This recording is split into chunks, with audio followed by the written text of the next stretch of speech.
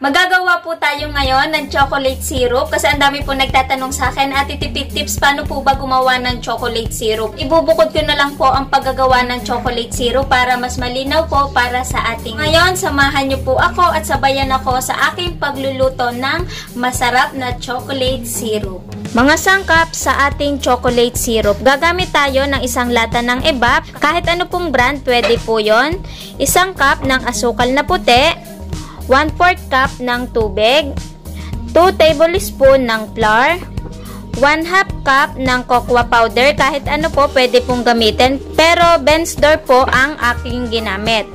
1 half teaspoon ng instant coffee, 2 tablespoon ng butter. Kaya tara na po, umpisahan na po natin ang pagluluto ng masarap na chocolate syrup.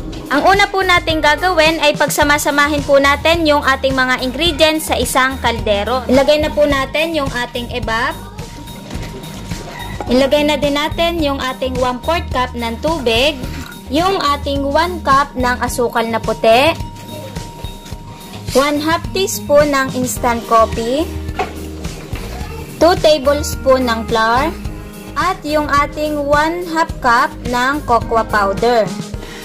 I-mix lang po natin to ng ayos, tapos dadalhin na po natin sa ating apoy.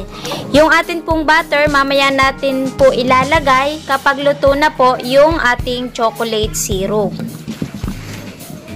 Nadala na po natin dito sa ating paglulutuan. Hahaluin lang po natin yan ng hahaluin hanggang sa mawala na po yung buo-buo at pag lumapot na.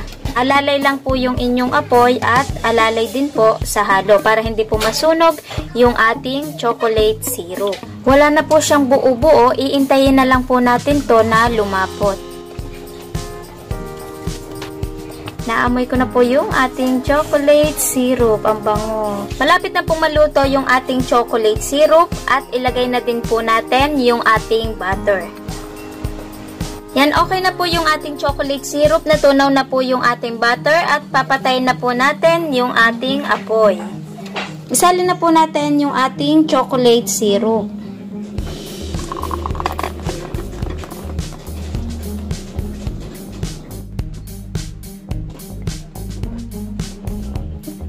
Ngayon po, tayo po ay tapos na sa ating chocolate syrup. Wala pa pong 5 minutes, makakagawa na po kayo ng masarap na chocolate syrup. Isinalin po natin siya dito sa ating tasa at dito po sa ating bote. Tikman ko lang po ito saglit kung ano pong lasa nung ating chocolate syrup.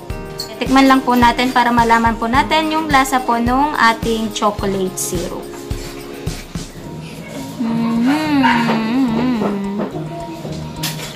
Masarap po yung ating chocolate syrup. Kung itatanong nyo po kung anong lasa, um, lasa po siya nung chocolate syrup ng cake ng Red Ribbon.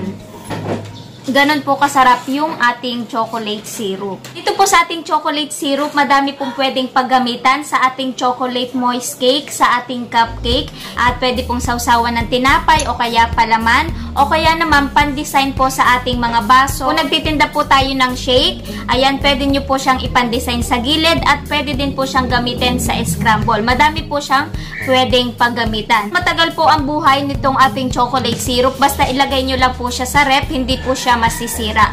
Pero medyo titigas po yung ating chocolate syrup. Pwede nyo po siyang ipainit sa ating microwave o ipainit nyo po ulit sa ating kaldero. Wala pa pong isang daan ang ating puhunan, makakagawa na po tayo ng chocolate syrup at wala pa pong limang minuto tapos na po yung ating chocolate syrup. So ngayon magpapaalam na po ako sa inyong lahat. Maraming maraming pong salamat at kita-kits po ulit sa aking mga next video.